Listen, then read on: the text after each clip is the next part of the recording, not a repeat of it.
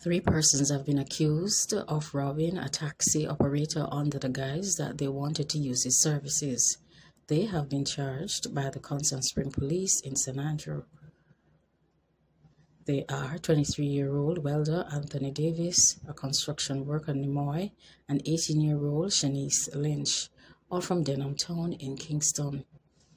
They were charged on Friday with robbery with aggravation, possession of prohibited weapon, unauthorized possession of ammunition, and using a prohibited firearm to commit a scheduled offense. The incident happened along Cypress Drive in Red Hills in St. Andrew on May 4th. The police alleged that close to 8.30 p.m., a man who operates a taxi received a pickup request from Miss Lynch. On arrival, Miss Lynch, along with Robinson and Davis, entered the vehicle and allegedly held and robbed the complainant of his belongings. The man was told to run, and the three accused reportedly used the car to escape. A report was filed, and the police quickly apprehended the attackers. The vehicle was searched, and a .38 revolver containing six rounds was found.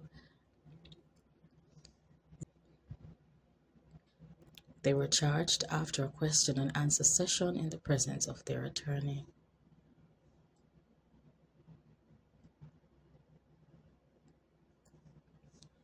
A 29 year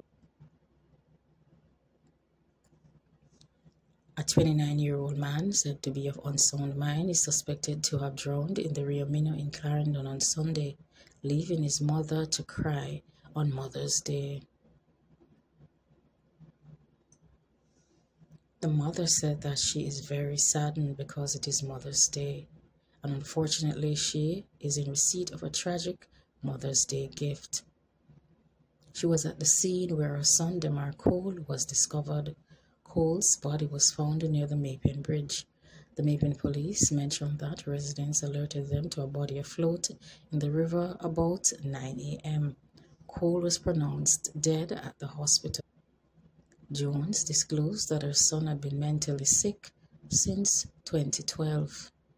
She said that it was not the norm for her son to visit the river.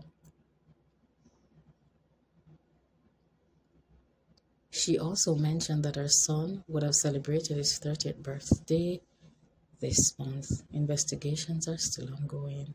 Thanks for watching and goodbye.